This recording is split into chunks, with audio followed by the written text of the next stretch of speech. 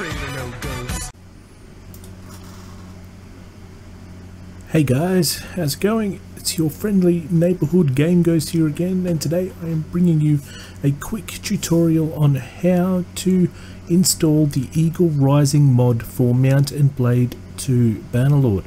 I've been getting a few questions about it on Facebook and on YouTube so I'm making this just to make it easier to explain. So we have here in front of us the Mount and Blade 2 Bannerlord Steam page so the first thing you want to be doing is making sure you are on the correct version. So the correct version for Eagle Rising at the moment is 1.7 beta.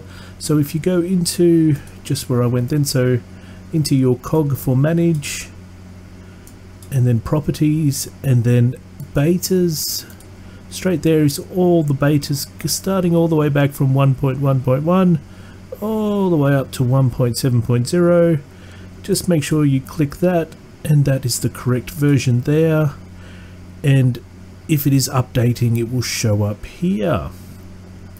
What else we should probably be doing if you've been playing with any mods anywhere so you want to go into your Bannerlord folder. So if you go into C drive if you're using Steam anyway program files x86 all the way down to Steam and then Steam apps and then into your common folder. That is where all of your games are installed on Steam.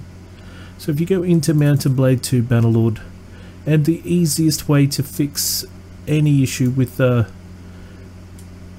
um, with other mods that have been installed is just to delete that whole folder so if you delete that whole folder you can go to back to Steam, go to your little cog, open that up, back to properties, local files, and verify integrity of game files and that will then download anything that's missing. I think if you just download your, if you delete your modules folder, you will get about 12,000 files missing and it will just reacquire those and again the game will update and install those.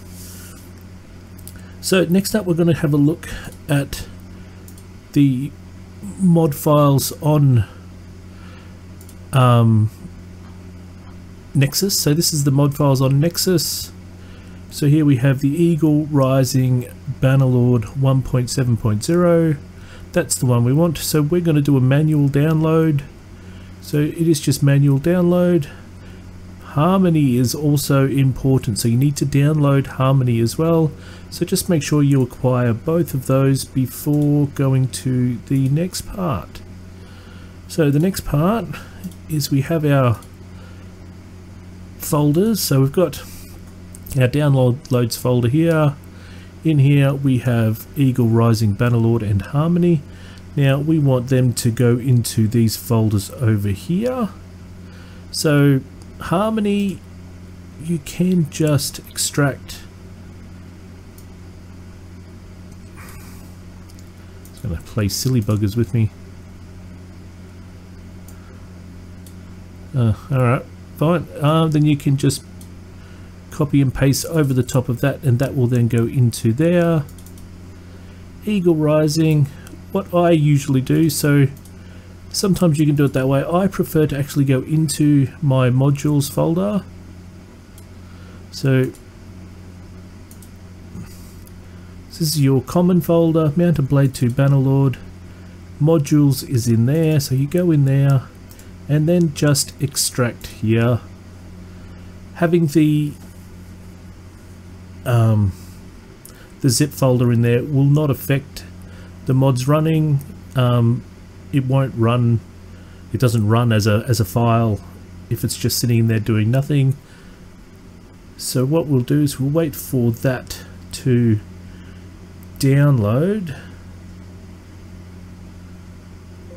Or um, install. So basically that is now installed. So you've got Harmony and Eagle Rising so what you possibly will have to do now I don't because I've been doing it for a while is if you go into Eagle Rising, into the bin file, into the shipping client file, and then into CA Eagle caeaglerising.dll, right click on that, go to properties, and here, down here, could be an unblock or the DLL file is being blocked um, because it came from another computer or something. So just make sure you click that unblock button that is there.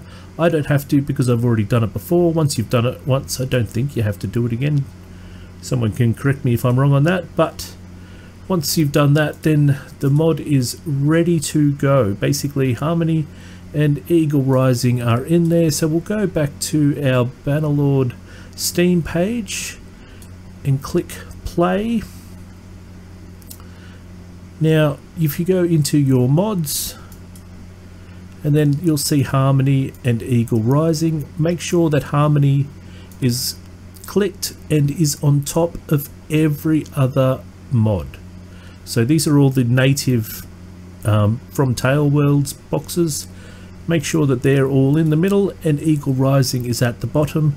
Ignore those red exclamation marks. They are just telling you that the the code in those mods is not made by TaleWorlds and you are using it at your own peril. So from there it is a simple button of just pressing play. So once you've pressed play the game will load. You'll know it's Eagle Rising because this will show this is the Eagle Rising page uh, loading page and we're in that's about that. So I would normally go into a sandbox campaign from here.